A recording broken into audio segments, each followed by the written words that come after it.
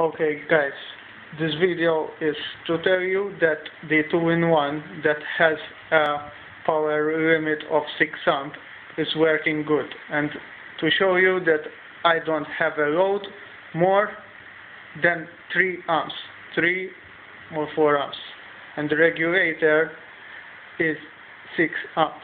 So what we're going to do, switch on the meter on a maximum of 10 amp switch the radial and switch to 2 in 1 okay initializes and it's working on 300 milliamp only. Now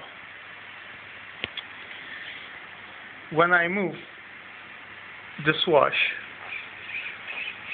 it goes up to 0.6 milliamp to, to 1 amp. And when I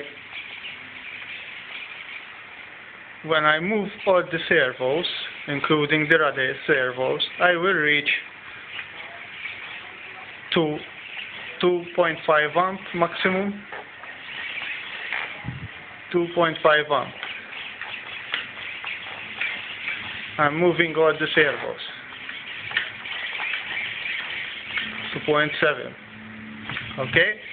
So now it's good. Now, I'm going to load the servos.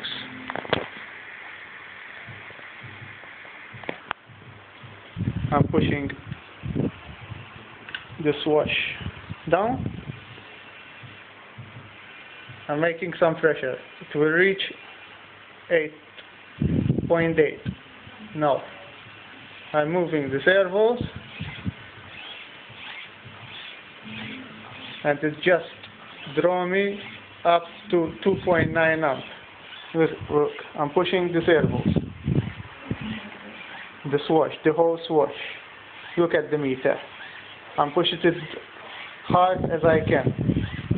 3 amp 3.8 amp you see the meter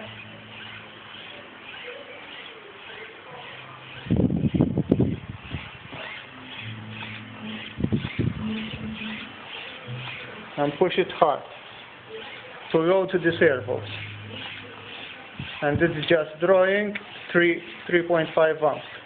Okay I let it go. And this is without load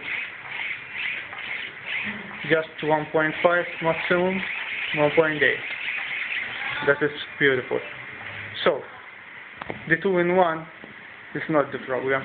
The problem is the 3GX that has a bug in the software, definitely. I have the current meter 2-in-1 regulated up to 6 amp and I'm just using 3 amp on load, on load with my hand, not on the blade. Thanks.